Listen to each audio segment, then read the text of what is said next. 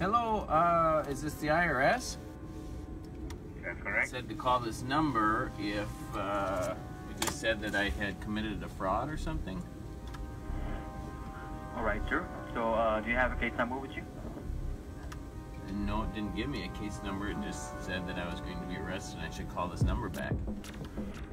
You know, we have to go some uh, some kind of veri- uh, verification process, and the guideline says that you have to verify your name and your mailing address.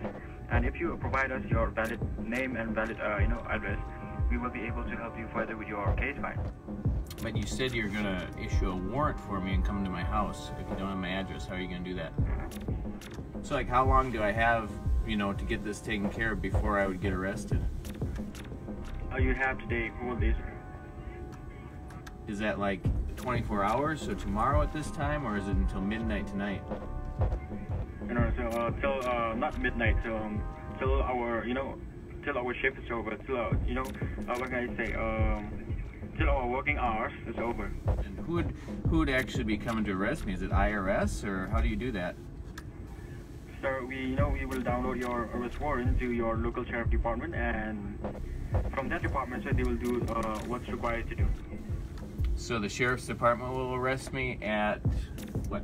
What do you say, six or six thirty, your time? No, sir. Uh, yes, in our time, six to six o'clock. And if my department decided to do that, if my superior decided, you know, to, uh, you know, uh, proceed further with legal actions against you. Okay, so can I just go to my local um, IRS office and and do this?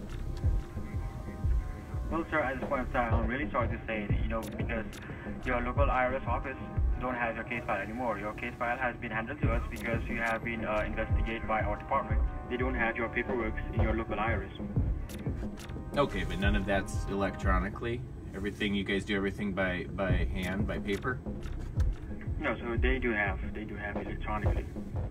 Okay, so if I call them, they can at least clarify that you're the right guy I should be talking to and that this number's okay, and then we will um, give you a call back and we'll get things straightened out.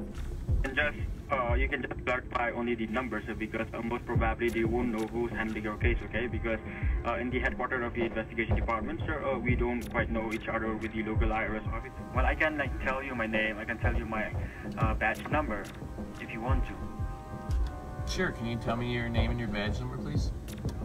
All right, this is James Maxwell, and I'm holding a batch number of ML05 0450121. That's my batch number, sir.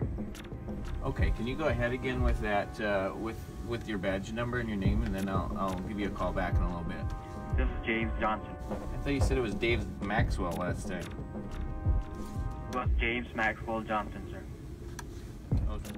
Okay, well, how do I know this isn't a scam? Because I see all those things on the news that you know that the IRS won't won't call you; that they're just going to send you a letter. Uh, there are some terms and policy that the IRS is following, alright? We actually do not, you know, uh, make phone calls or send emails or faxes, but in some emergency commission, we do make phone calls so that we have a direct contact with the taxpayer. The Eau Claire County Sheriff's Office does not receive information from the IRS on warrants for citizens based on phone calls like this. This is truly a scam. Sir, I am saying because, you know, I am working for my department.